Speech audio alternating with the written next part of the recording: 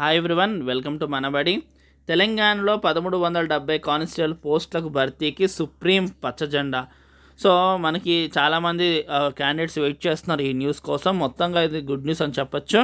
రెండు వేల పంతొమ్మిదిలో రిలీజ్ అయిన మెరిట్ లిస్ట్ ఆధారంగా అప్పుడు జాబ్స్ అయితే ఇవ్వడం జరిగింది. అందులో కొంతమంది మెరిట్ స్టూడెంట్స్ ఆ కానిస్టేబుల్ పోస్టులకు జాయిన్ అవ్వలేదు. సో తదుపరి ఉన్న మెరిట్ స్టూడెంట్స్కి దాంతో భర్తీ చేయాల్సిన రిక్రూట్మెంట్ బోర్డు అలా చేయకపోవడంతో క్యాండిడేట్స్ హైకోర్టులో కేసు వేయడం జరిగింది. సో అప్పుడు హైకోర్టు క్యాండిడేట్స్కు సపోర్ట్గా తదుపరి వాళ్ళకి ఆ జాబ్స్ ఇవ్వాల్సిందిగా చెప్పడం జరిగింది.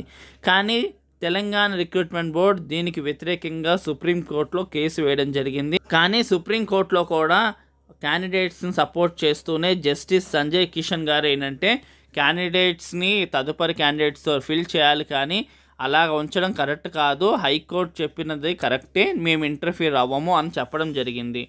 సో ఇప్పుడు దానికి తగ్గట్టుగా ఆ పదమూడు వందల డెబ్బై కానిస్టేబుల్ పోస్ట్ను తదుపరి అభ్యర్థులతో ఖచ్చితంగా ఫిల్ చేయాల్సి వస్తుంది. సో అది కూడా ఇక్కడ చూడొచ్చు. మెరిట్ లిస్ట్లో వారు చేరకుంటే తదుపరి అభ్యర్థులకు అవకాశం.